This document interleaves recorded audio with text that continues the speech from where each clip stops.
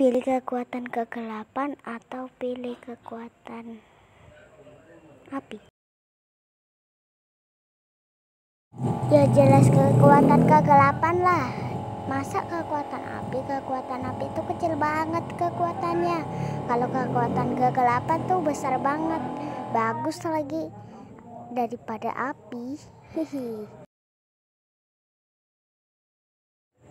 kamu bisa menyerang monster?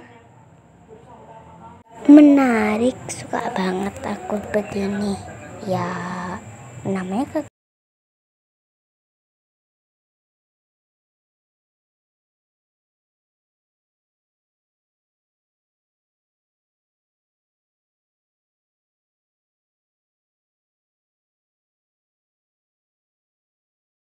lah harusnya kan ada satu yang ada kamu benernya ya Caca aku udah tahu.